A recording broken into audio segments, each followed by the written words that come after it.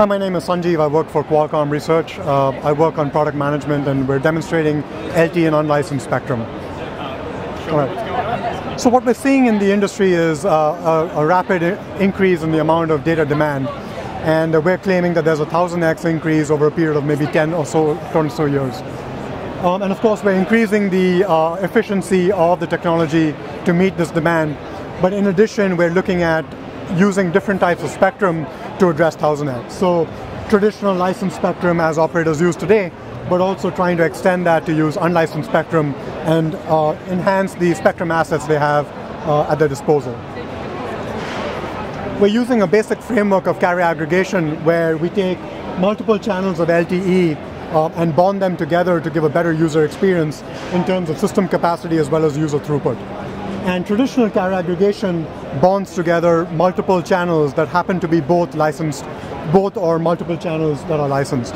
With LTE and unlicensed, we're extending that same framework to take the second or, or subsequent carriers to be in unlicensed spectrum, in this case 5 gigahertz. And what that gives us is better network performance, better user experience.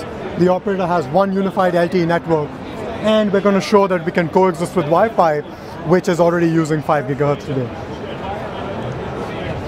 Um, LTE-U is ideal for small cells, 5 gigahertz, having low coverage. Uh, small cells are perfectly suited uh, for, for that application, and then operators have a single network with which you can accumulate other small cells.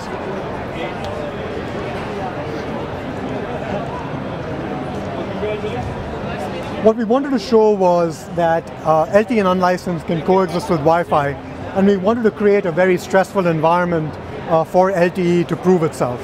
So what we did is uh, we set up a, a small room with uh, eight pairs of access points and Wi-Fi stations, um, all situated in, uh, in the screen room, uh, all occupying the same channel so that they're all interfering with one another.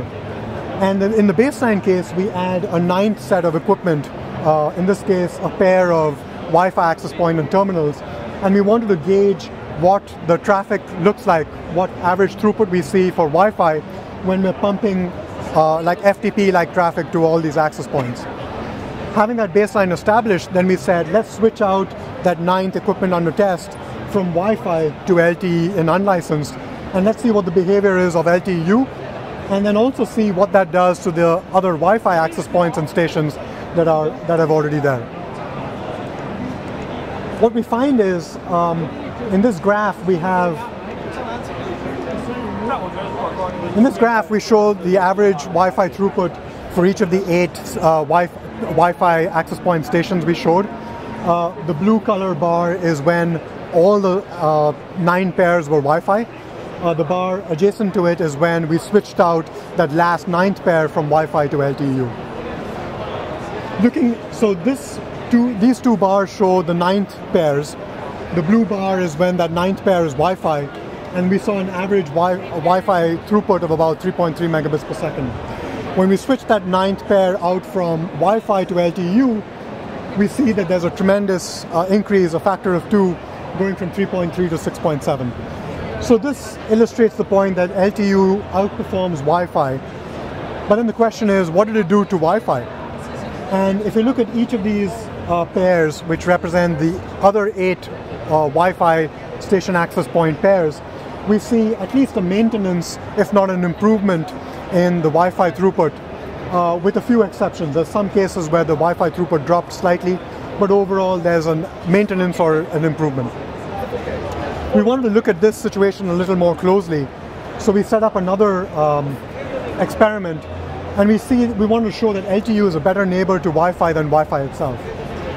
So what we did is we took a similar setup of the eight pairs of Wi-Fi access points and stations, and we progressively changed out uh, the access point, the Wi-Fi with LTE-U, two at a time in this case. So we went to two, uh, six Wi-Fi plus two, and then four Wi-Fi plus four. And what we see here is looking purely at the Wi-Fi throughput, not at the LTE-U throughput, which we saw was higher, uh, when we had the baseline of everything being Wi-Fi, we saw an average throughput of 5 megabits per second. When we swapped out two Wi-Fi for two LTE-U, we saw the LTE throughput go up to 5.8 and we swapped out two more, we saw the throughput going up to 6.9. So what we're seeing is for the same number of, of access points, uh, LTE-U is acting as a better neighbor to Wi-Fi than Wi-Fi itself. We also ran a third experiment where we wanted to sh show that streaming over Wi-Fi worked when LTE-U was running. And so we ran YouTube to eight devices on Wi-Fi. When we had this coexistence mechanism turned on, everything worked fine. When we turned off this LTE-U coexistence mechanism, the Wi-Fi streaming went to hell. So we really need we need really need coexistence, and we wanted to show that the coexistence mechanism is robust and actually improves uh, Wi-Fi performance.